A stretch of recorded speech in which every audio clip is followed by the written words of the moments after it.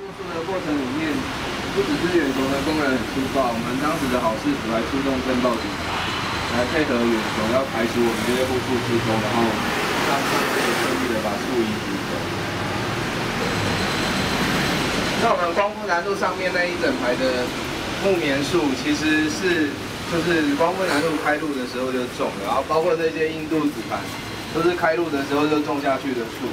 那呃，他们呢？我们当时的论呃论述，希望就是，呃，如果有听过那个《木棉道》那首歌的朋友，就可能没有办法，可能原先是不知道，就是其实《木棉道》那一首民歌，就是在讲光复南路这一整排的木棉树。对，就是那个故事是我们在复述的时候才知道，就是有个老师来跟我们讲，就是其实《木棉道》这首歌是马兆俊写的，然后马兆俊原本住在民生社区，然后他在追一个住在通化街的女生。所以他每天接送女朋友往返这一条路上，然后看着这一条道路上面这些木棉树的花开花谢，所以他后来就写了这一首非常脍炙人口的民歌。对，所以其实像我们光复南路的木棉道，其实跟我们台湾的流行音乐文化也有很大的关，也有很强的关联。所以我们当时也是希望可以把它完整保留下来，因为他们那一边现在就是准备把中间的路路树挖掉，然后一样拓宽成大巨蛋的这个地下停车场的出口的车道。对，然后我们也是已经提出来，就是可以通过设计变更的方式，就尽量避免这些树木被移植。其实我们当时提出来的方案也有蛮多的专家学者是支持我们的论述。我们也曾经在中山烟厂里面开过记者会，然后原本市政府原本郝龙斌市府在张金二副市长的这个主持会议之下，我们原本已经达成一个基本的共识。市政府当时也提出了。配合我们的诉求的这个一路救赎的市府版的方案，那原本原本是已经要达成共识的，就后来那个赵董事长因为行贿案被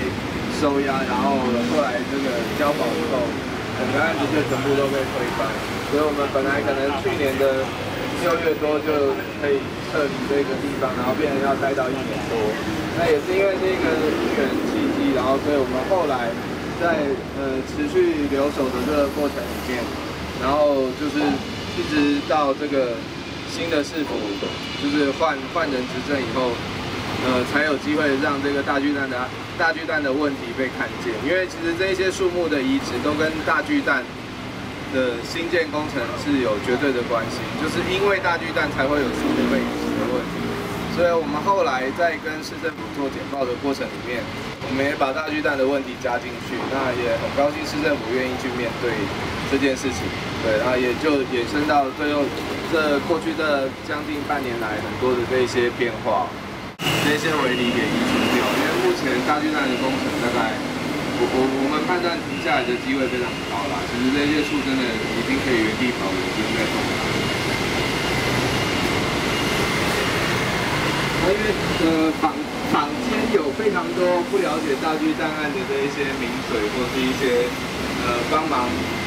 帮忙就是粉饰太平的这一些市议员，然后一直在用一些不是很正确的讯息传递出来给他的市民，所以我们当时也做了几个大海报，就是把大巨蛋比较确实的一个状况让大家去了解，包括像郝龙斌时期一直在跟大家讲说，呃如果没有大巨蛋，四大运没有办法举办，可是其实我们很早以前就调过风了。其实大巨蛋如果没有办法新建完成，然后只要有替代场馆，其实四大运总会是不会不会因为这样子然后去违约或者什么。所以其实大巨蛋争议出来以后，其实四大运总会也出来讲话，包括这几天他们来台湾勘察的过程里面，也是尊重台北市自己的决定。所以其实并不是像以前体育局或是郝龙斌市府所说的哦，就是这个没有没有大巨蛋，我们就没办法办四大运，那是一个。用四大运绑架大巨蛋的一个错误的说法，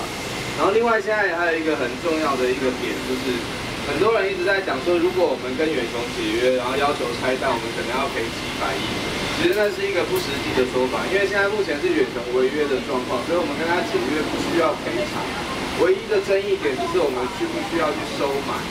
所以我们到底要不要把这些呃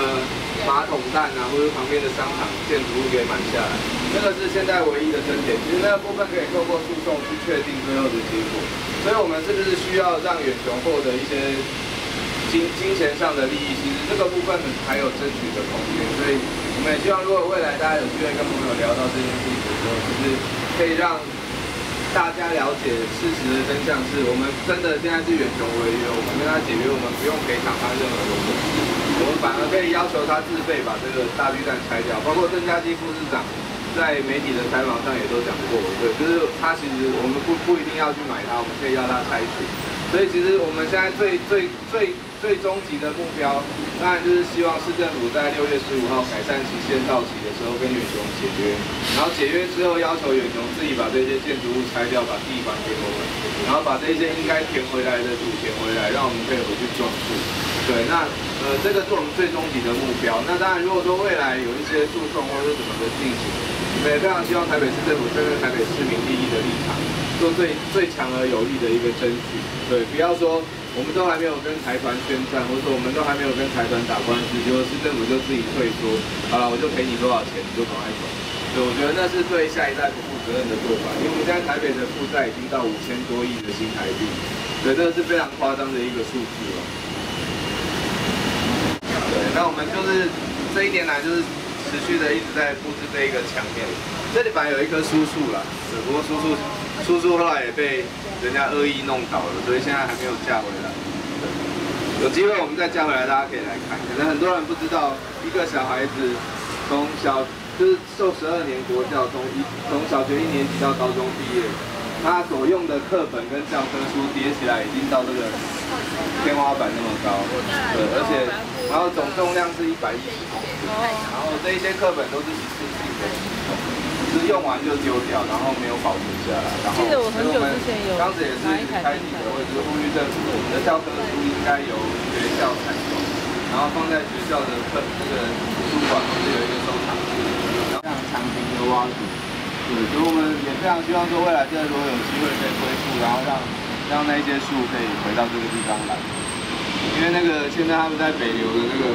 生长环境也非常不好。很多人以为这个公车站是因为我们护树运动移弄过来的，真的不是。这公车站是远雄要拓宽道路弄过来的，然后全部都赖给我们，快昏倒。其实这个公车站原本在前面我们集合的旁边，对，其实就是大家从捷运出来要转乘很方便，可是为了配合大巨蛋的工程，现在被移到这一边过来。然后那个公车站的位置原本也是一棵树，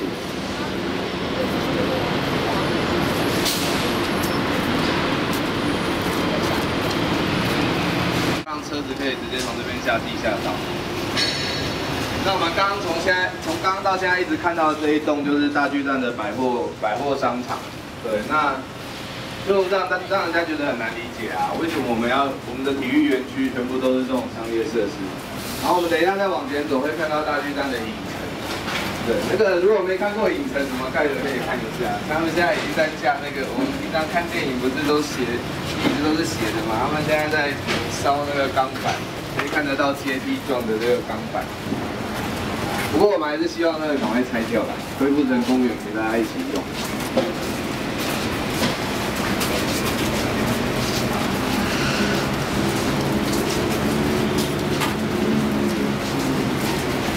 现在这个位置是松南烟厂的正门口，就是这里直直的对进去，就是松南烟厂的古迹的这个正面。那原本从你如果站在这边看进去，两边就是会有。两排树就是直接是第一排是骨灰，第二排是亚历山大耶稣，然后再往后这一边就是整片的森林，然后这一边那一头现在盖影城的地方，原本是他们松山烟厂的员工的宿舍，对，那当时宿舍被拆迁，其实也还蛮多住户觉得难过，对，因为其实他们当时跟这一块土地的连接，所以我们现在有一些专家学者，或者有一些呃。在协助的一些老人家，他们其实很多都是原本松山烟厂的旧员工，他们对于这一块土地被破坏成这样，其实是完全没有办法理解跟接受。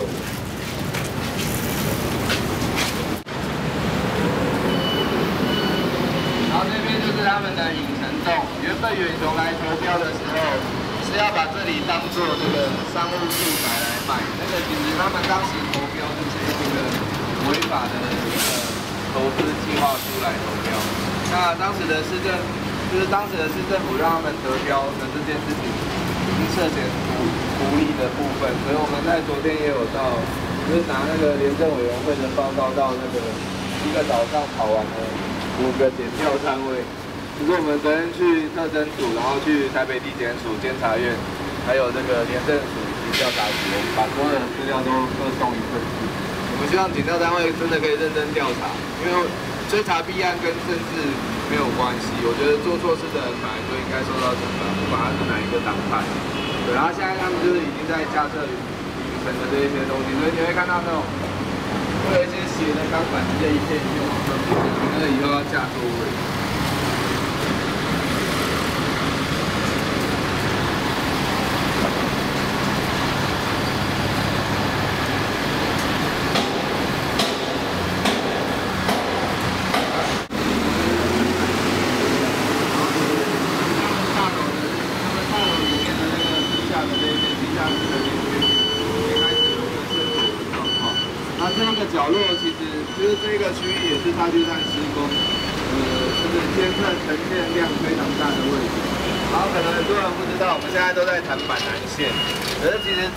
方市民大道下面是台铁跟高铁的轨道，对，所以其实一个这一个开发案这样子继续搞下去，如果真的发生什么样的问题，沉下去的不是只有板南线，可能还包括我们的台铁跟高铁。所以像类似这样子公共安全的问题，其实当时在规划设计的阶段，其实都应该把这些周边的条件列入考虑，就是到底大巨蛋的这些整个商城是不是适合放在中山烟厂？当时其实没有做过一个比较好的一个。公共政策的辩论，而是都是由市政府内部他们就自己决定，就是放在中孝东路这里可以有很好的一个商业性的一个发展的效果，然后可以吸引厂商来投标，而他们又在招标的过程里面隐匿开发量上限，然后让只有远雄一家来投标，然后去获取最大的利益。这个部分就是我们一直在跟检调单位投诉的一个地一个争点之一。对，那我们继续往前走，我们要准备要进入松烟。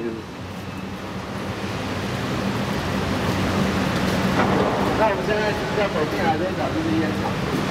后来为了那一场，就是台北人创这一栋的一个交通的需求，所以他们就把这些的铁轨都挖掉，然后把它开辟成一个就是台北文创专属出入的道路。其实这一个部分，我们当时也有提出一些质疑，就是你有需要为了这样子的商业的 BOD，然后去破坏我们这些原本有机会去申请这些世界文化遗产的这一些。非常具有竞争力的这一些景点，因为台北的铁道就是中环线铁道沿线，其实有非常多很重要的这一些历史文化的遗迹，对，就是从前面的这一些像台北酒厂，然后到华山，然后一直延伸过来到松山烟厂、台北机场，然后再往南到南港瓶盖工厂，其实这一整串的这个铁道沿线的这一些文化遗址，其实当时文化部其实有有就有专家学者建议应该。用这铁台北的这个铁道沿线的这几个文化遗址串联成一个呃案子，然后去送就是文化遗世界文化遗产的申请。员工的那个宿舍，所以你现在在这边就会很明显的可以感觉到那个环境破坏的状况是非常严重，而且是让人家觉得不舒服的，不管是空气里面传来的味道，或者是整个建筑物给。这一块土地的压迫感，然后甚至后面的古迹也全部都因为这样的工程，然后受到很大的一些影响。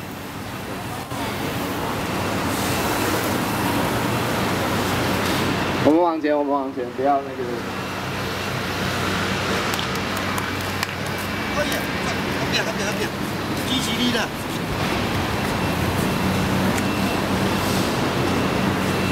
然后这里。这里就是以前松烟厂大门口前面的一个，就是柳公郡支流末端的一些，就是水道。对，那你可以看得到，其实，在这一些沿线，呃，就是他们在这个两侧所种的这些植栽，其实当时在日治时期建厂的时候都是设计过的。对，像前面这一排就都是枫香树，然后后面就是百千层跟那个土葵，然后就是整个整个植栽是设计的非常的好，然后。你如果再早几个月来，上次在带导览的时候，这边全部都是废水一直排，就是远雄偷排废水。对，然后后来我们去检举以后，被他们也真的被抓到偷排废水，被罚钱。然后现在水就不从这里来了，不过他们从哪里出去就不知道了。然后把它改造。那我们现在左边看到的这一棵，右边看到的这一棵枯掉的大树，就是中山一厂以前体育园区里。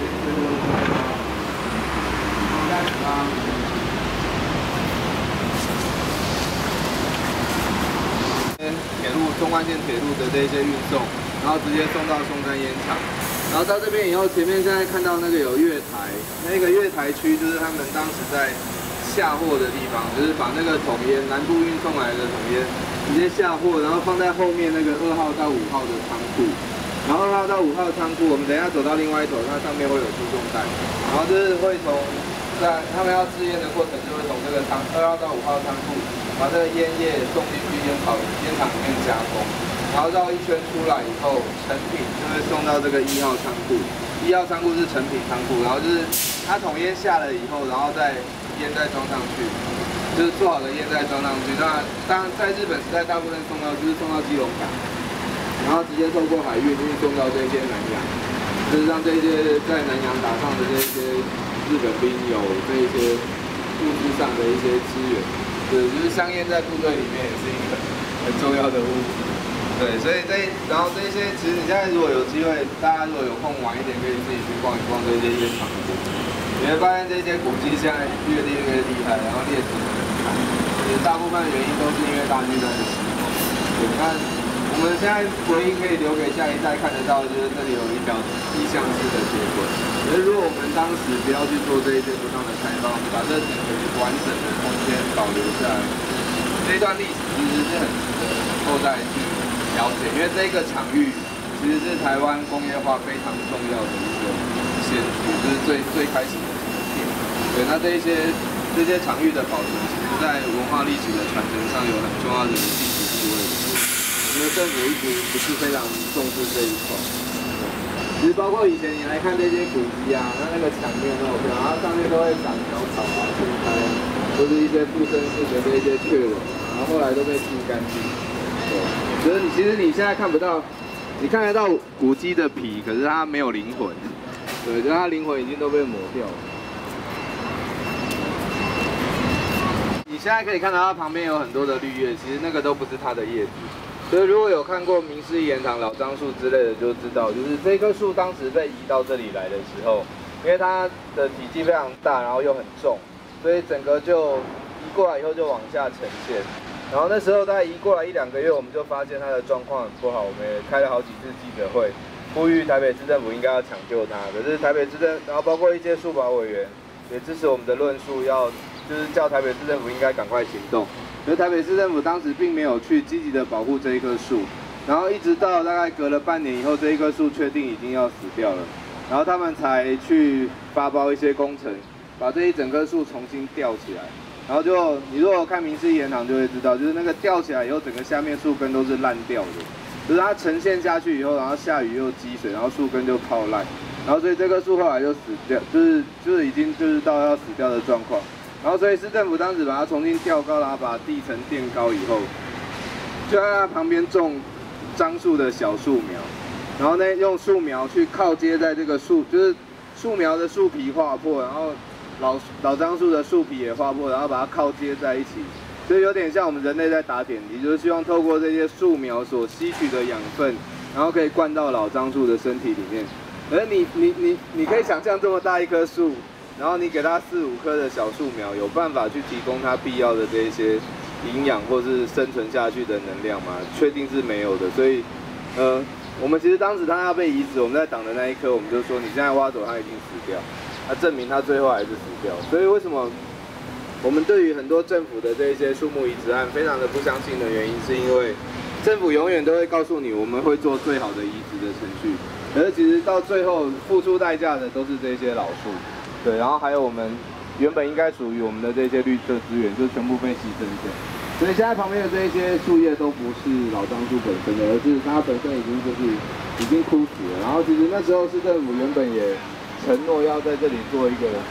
老樟树的生命园区，去记录以前松山烟厂发生过的树木移植的这一些过程的一个故事。可是已经很多年了，也都没有相关的进度，已经。他九十八年三月被挖走，然后大概九月九月九月十号就差不已经几乎就是叶子全部都枯掉都不行。对，好，我们那一天还有来看他，我们那我们那我们那天早上来开记者会来看他帮他献花，然后下午监察院就开记者会纠正大巨蛋的案子。对，所以你你你，像现在这一个切口很大，对不对？他以前还没有被移植的时候，这里有一根很大的树干一直伸出来，然后大概伸到这一个距离，然后往上再长上去。所以以前这一棵树没有被移植之前，它的整个树冠幅是将近一个篮球场那么大，它是一个非常非常大的大树。就像那个，喂，就像那个松烟，它旁边因为烟烟叶的制造需要很干燥的环境，然后可是它又有消防的需求，所以在松山烟厂的周边会有很多的一些小型的。所谓的景观的水池，其实这一些水源其实是做这个消防所必要的这些备用的水源。对，所以它设计了很多的这一些小的池塘，围绕着这个烟厂的园区。等一下到后面会看到那个大的荷花池，对，那个其实是柳公郡支流末端的蓄水池。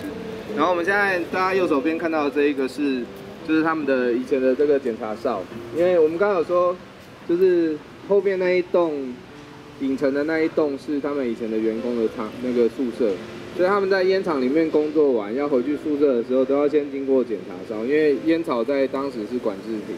对，就是要经过许可的，所以他们都要先检查包包啊什么没有夹带香烟出去，然后经过这边，然后就是去再回到家里面去休息。这个当时也整个都被拆掉，就是重盖的。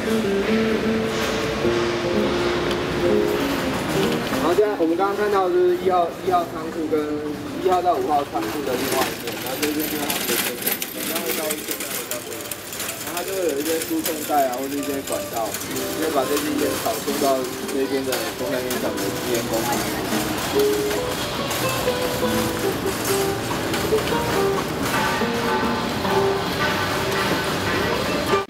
现在被盖进攻的地方，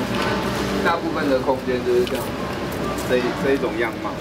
就它是一个很自然的地景，然后有非常茂盛的那些大树，然后下面的植被是非常丰富的，所以不管是这些攀木蜥蜴啊，或是青蛙，很多的这一些呃蝴蝶或者一些昆虫，其实它们就是在这样的一个比较天然的环境里面，可以去做一些繁衍跟生存。所以其实以前松烟的生态是非常的，对，就一直到大巨蛋新建，然后。而松山烟厂被搞成一个商业区以后，其实这里的现在的生态的状况就越来越不好，因为人太多，然后干扰非常的严重。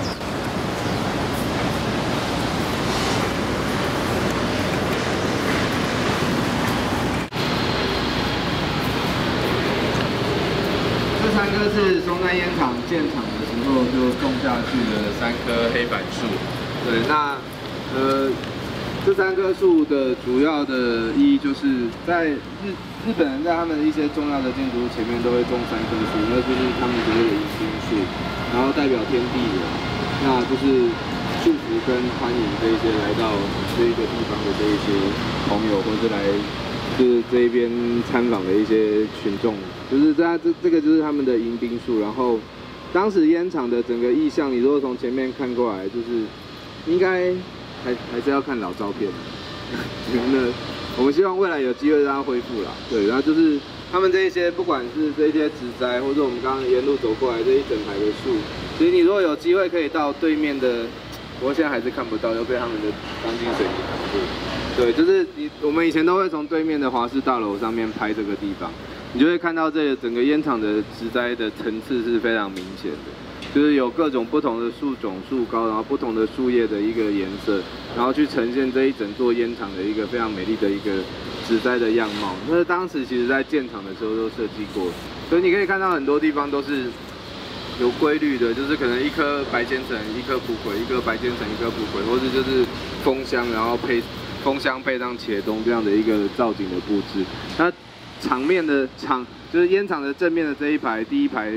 整排就是枫香跟蒲葵的整排的意象，然后当时是一直延伸到那个忠孝东路，不过那一边是都被挖走。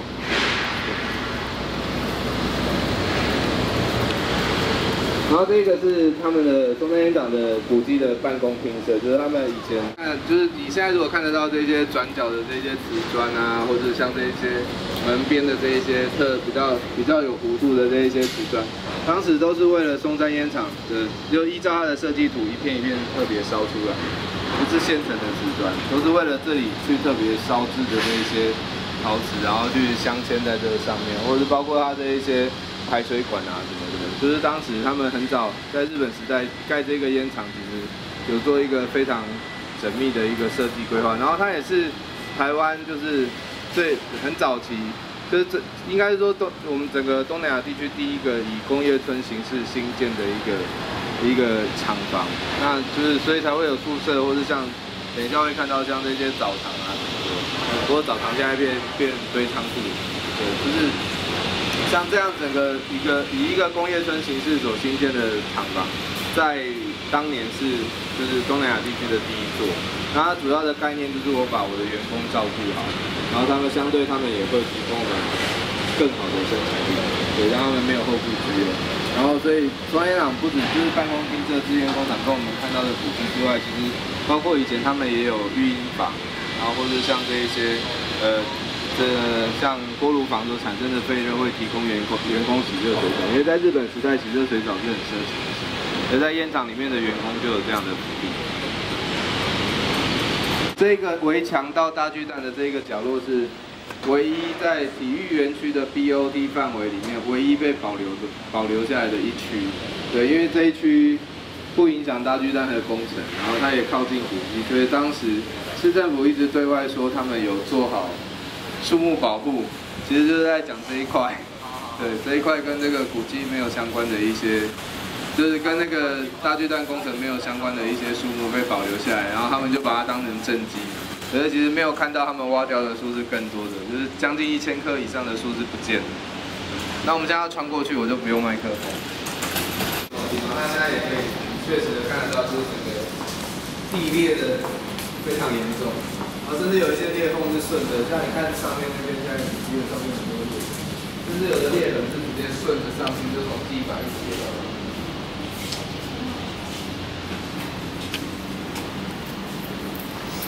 你看那个武器都是有一度，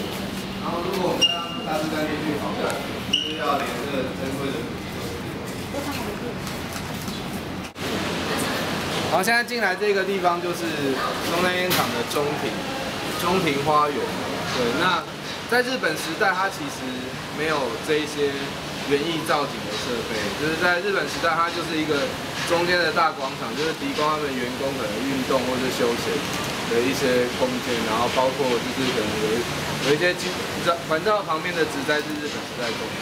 然后就是当时这一个地方，嗯，有没有人听过盲人棒球？有听过盲人棒球？呃，这这个中间的中庭花园在早期是是盲人棒球的发源地，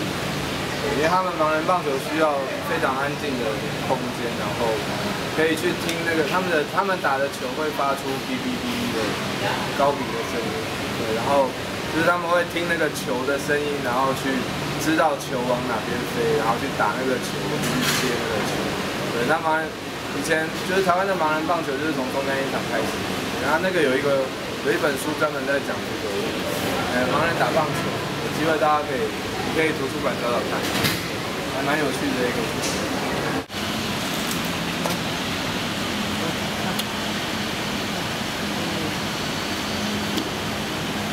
你们要小心你们的头，因为母鸟会跑来啄你，它会跑来威吓。好不够管耶。为什么要堵在这呢？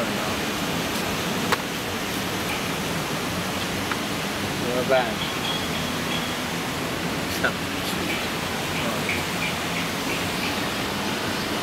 那个俊杰，哎，你麦克风放着，好，然后你坐我的肩膀，你汇报。上去了。你坐，你汇报。你这一只，等一下，你你这一只手拿着，好了，所以他已经开始在飞了。来，来，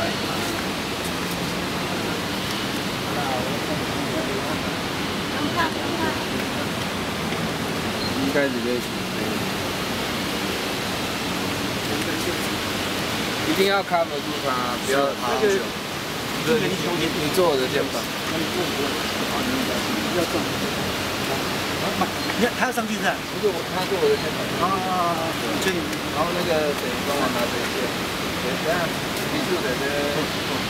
不要太大的震动，轻一点。他是飞的，它会不能太大的震动。哎，还是他上我肩膀，那你你你拿给他，要不要？需要因为这胶我比较出力啊。你还要做胶带啊？那用技能啊。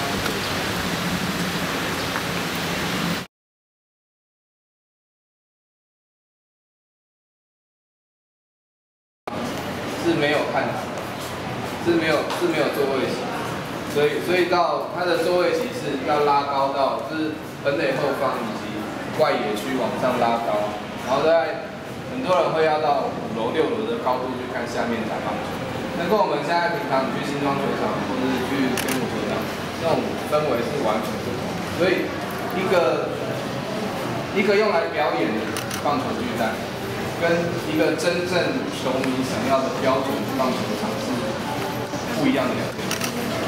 因为包括我，我跟俊杰，我们也都是很爱打，就是就是那种棒球，所以我我们在反对巨蛋这件事情的过程里面，其实也包含了我们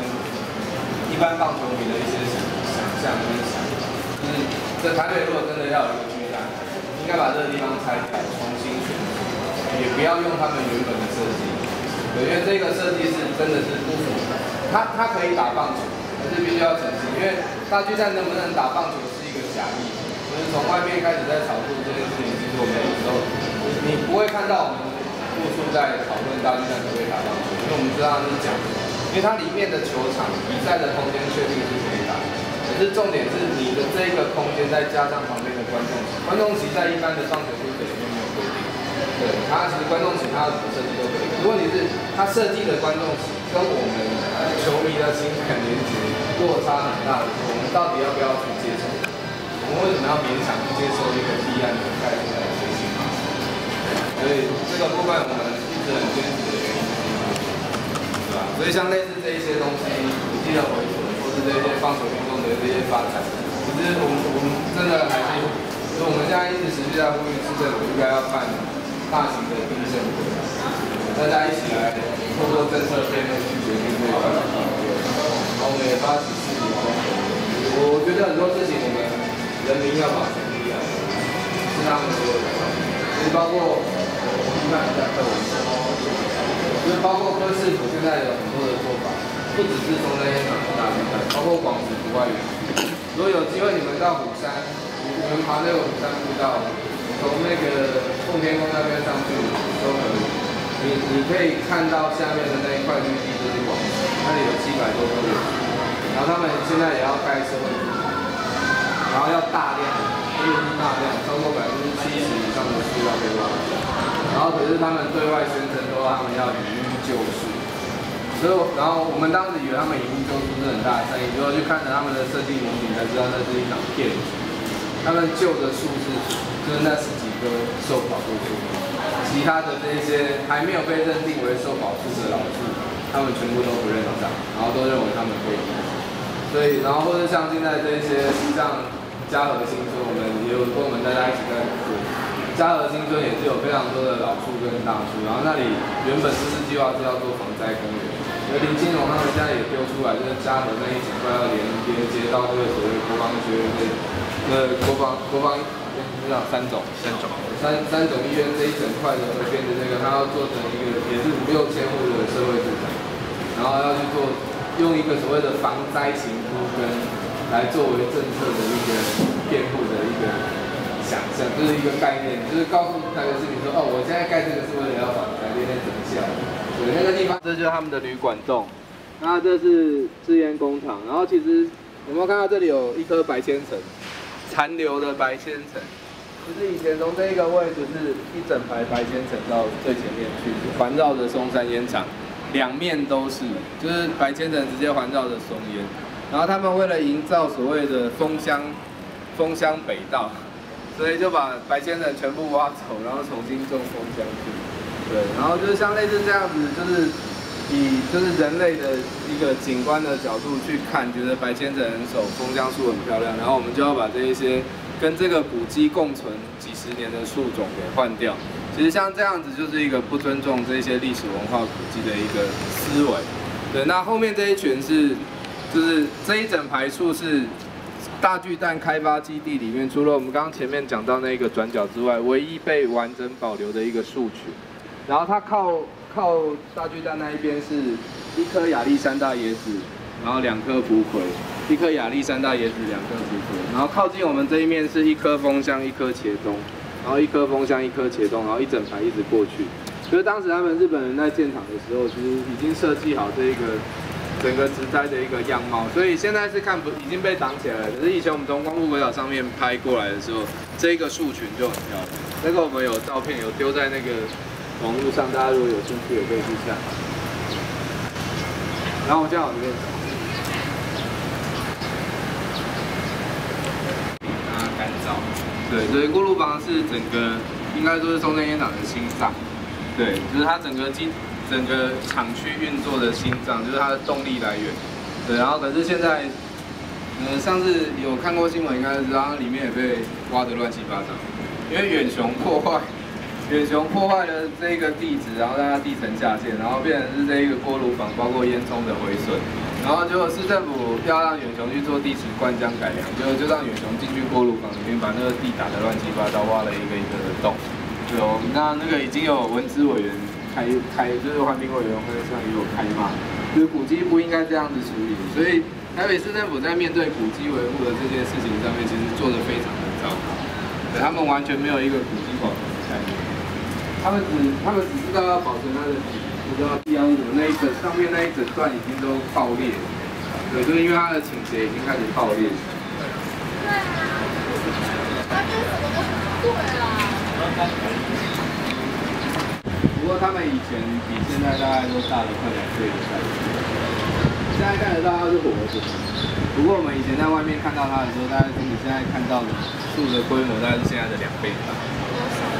因为树被移植以后，它其实很难恢复元气，然后所以你现在看得到它是一个活的状态，可是其实它要恢复到它以前被移植之前的样貌，其实是很困难。所以你看它那个被裁掉的那个都是很大的伤口，因为它以前其实长得非常高大，比现在还要大很多。过来大概六年，对，也都没有办法恢复原状。就是他们那政府一直在告诉我们他们会好好移植，然后都会在松山烟厂的园区内。对，那事实上他们也被就是移到这边来，后面这几棵算运气比较好，有被保存下来，然后。当然希望他们未来可以恢复一个健康的状况。可是其实如果这些树可以原留在原本的地方，会不会更好？就是大家可以去思考。到底我们有没有需要为了不当的开发去牺牲这么多的绿地资源？是会有水源的，因为它是柳公郡支流末端的蓄水池。然后那时候有三座，这个是最后一座，另外一座就是那个现在刑事警察局跟那个国税大楼那里。对，这是。那边是第二座，然后第三座就是在那个财税大楼这一边。原本有三座水池，然后都是要作为这个烟厂的消防用水的备用水源。那因为它很长时间的一个水池，很长时间的一个闲置，然后跟这些自自然生态的一个演化，所以这个地方原本是松山烟厂生态最最丰富的地方。对，包括像红冠水鸡啊、黑冠麻鹿啊，或者刚刚提过这些凤头苍鹰，有很多鸟类是。生活在这个区域，然后以前在五五山上是有整个围墙围起来的，所以这个地方是一个非常封闭、封闭的生态跳岛。可是后来为了要盖那个台北文创那一栋，呃，他们在都审跟环评的过程里面，就把这一个水池纳入整体的景观营造的范围。所以我们网络上可以找得到我我上传过的影片。这里原本是一个就是植植被非常丰富，然后这些生态很丰富的场域，包括周边的这些植栽，其实不是你们现在看到的这一些。周边原本就是很多构树啊、野桐啊这些自生性的植物，然后就全部就都他们把它全部挖空。你会看，你如果看到我们的影片里面是整个周边水池周围几乎都被全部挖空，然后重新种新的植栽，然后重新做成一座所谓的生态景观池。可是它就。再也没有生态存在，对，就生态是完全被破坏掉的，所以其实这个地方很可惜啊，不然以前大家看到是这种灌水机，可是后来被换成白色的大鸭子，对啊，然后还还是有很多市民觉得看到鸭子很开心，可是其实应该是我们生态教育还要再努力的地方，对吧？因为其实让下一代可以看到更多的原生物种，才是我们应该做的事，对吧？鸭子烤鸭店就有了。那我们接下来，然后是一个比较完整的生态，比较生态系统比较完整的空间，所以它这里面以前真的有很多珍贵的东西，不过现在已经几乎都被破坏的差不多。我们其实，在环评跟多审的阶段，他们当时要重新营造这个水池，其实我们也有要求，应该要做生态缓冲区，就是其实他们一直就是，结果他们还是到最后还是规划成一个环湖的步道。